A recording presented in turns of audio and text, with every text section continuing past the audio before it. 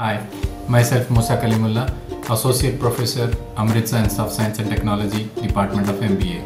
Students, today we will discuss regarding management, roles of a manager, and what are the functions he is going to perform. So we all know that in today, in all the business organization, the main important function is managing the four M's. Four M's means here men, money, material, and machinery. So these four to be managed well. So one more thing, my dear students, management, the definition for this management is going to be different given by different people.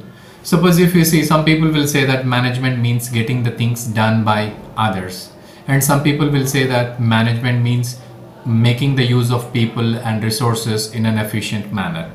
But whatever it may be, management has become very, very important in all their organizations nowadays. Let us see one definition given by one management thinker. He says that management means it is the process of designing and maintaining an organization where the people work together for the attainment of goals of the organization. So this is what management. Mary Parker Follett said that management means getting the things done by others. Okay, so now let us see what are the roles that a manager is going to perform. Before going to the roles, let me say some more aspects related to management. One is management, a manager is going to perform different functions like planning, organizing, staffing, leading, and controlling. Then in management, what we are going to do, manager is going to plan the activities of the organization, he is going to allocate the resources, he is going to allocate the tasks, he is going to uh, motivate the people he is going to recruit the people he is going to identify the number of people required for the organization. All these things are there.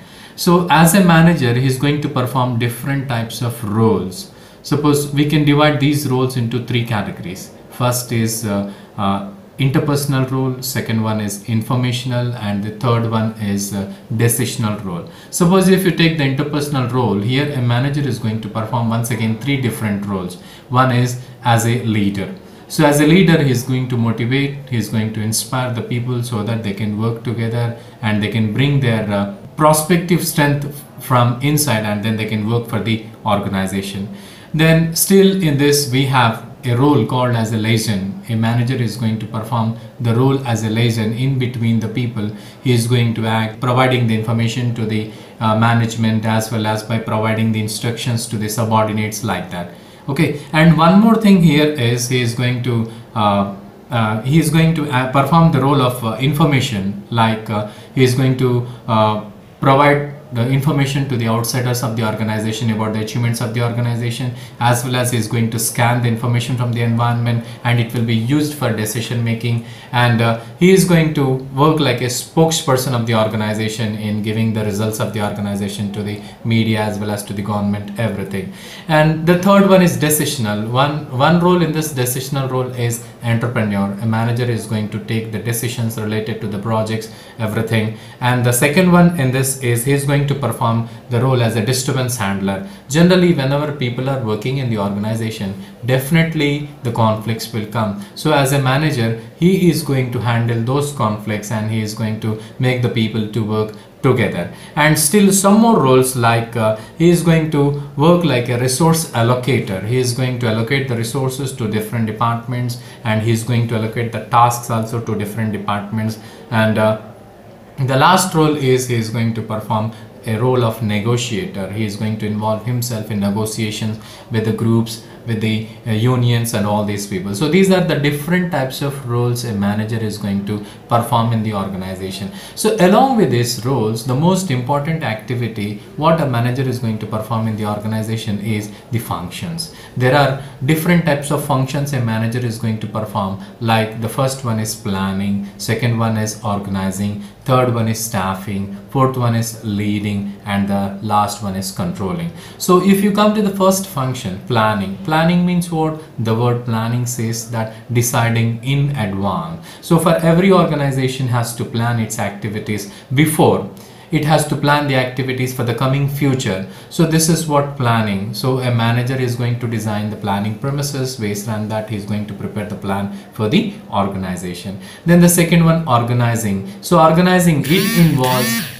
uh, allocating the task to different people in the organization and according to that allocating the resources in the organization and determining the relationships between the managers and the subordinates. This is the activity which is going to be done in the organizing function. Then come to the third one that is staffing. Staffing means it is uh, simply we can call it as human resource management. In this what a manager is going to do a manager is going to know how many people are needed for the organization and uh, he is going to recruit the people he is going to train the people.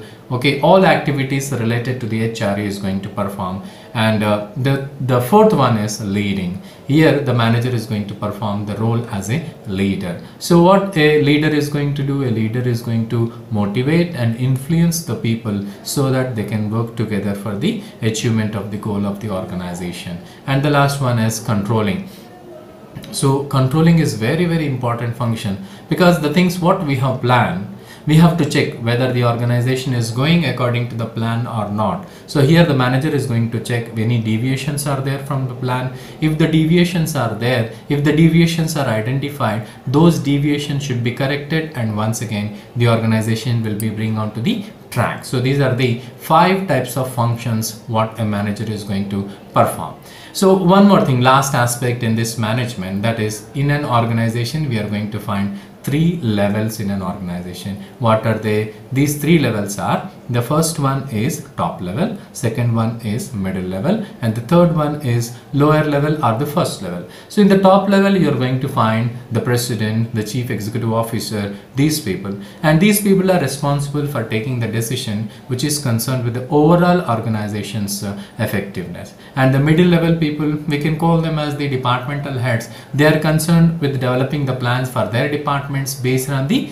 top level management. So in this you will find the head of the departments of the organization for different uh, branches. And the third level the first level these people are going to work in the production floor as the manager. So they will plan the activities based upon the top level people what they have planned as well as middle level people what they have planned. And these people are going to plan the activities for day to day. So these are the three levels which you are going to find in the organization.